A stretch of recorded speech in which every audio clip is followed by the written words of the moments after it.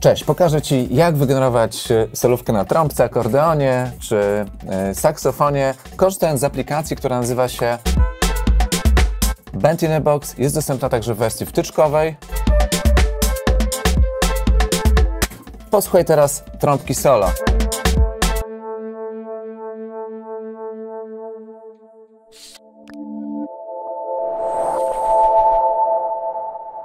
Ta konkretna partia wydaje mi się wyjątkowo ciekawa, bo ona łączy zagrywki na kilku różnych instrumentach. Zobacz.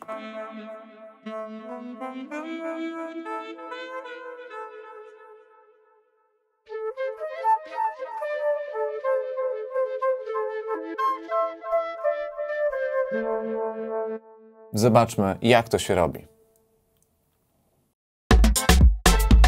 Rozpocząłem od wygenerowania podkładu za pomocą systemu Machine.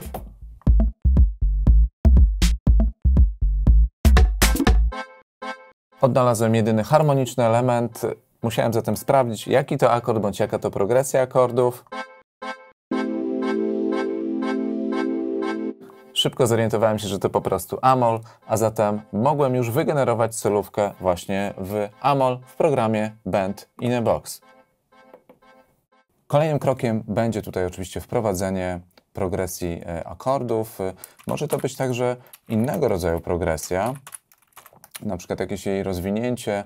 Na górze ustalamy ilość taktów oraz ilość chorusów, czy ilość, jak mówią muzycy, kółek. Dajmy na to, że będzie ich 8, a zatem łącznie nasza sekwencja będzie miała 16 taktów plus zakończenie. I kolejnym krokiem jest po prostu wybór e, instrumentu, czy wybór po prostu tak zwanego real track, w ramach którego wybierzemy sobie e, muzyka. Tak jak widzicie na liście jest bardzo dużo różnych e, propozycji, instrumentów, których możemy posłuchać w kontekście.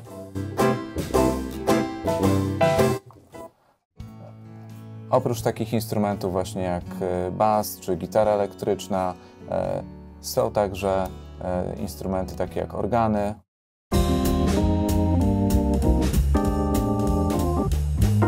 Warto też zwrócić oczywiście uwagę na tempo, w jakim nagrane są, nagrywali muzycy, bo te nagrania nagrywali prawdziwi muzycy w prawdziwym studiu e, dla różnych właśnie sekwencji akordowych i stąd właśnie możliwość generowania ich dla dowolnego właśnie stylu tak naprawdę.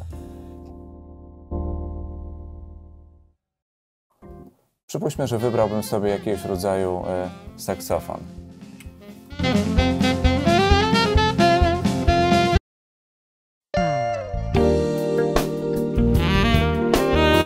Świetnie. Klikam OK.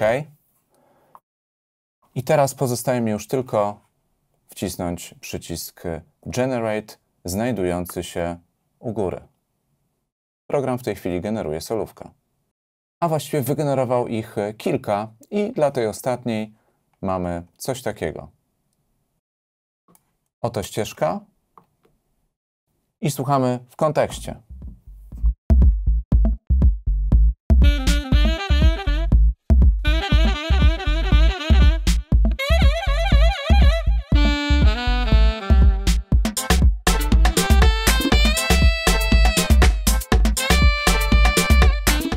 Tak jak już widzieliście, lista dostępnych instrumentów, wykonań jest bardzo, e, bardzo długa, także polecam e, filtrowanie jej za pomocą filtrów znajdujących się na dole, więc możemy tutaj zaznaczyć, że chodzi nam wyłącznie o solistów, którzy zagrali swoje solówki na przykład w jakimś określonym przedziale tempa, tak aby nie zmuszać programu do generowania, e, do nadmiernego ich na przykład przyspieszania.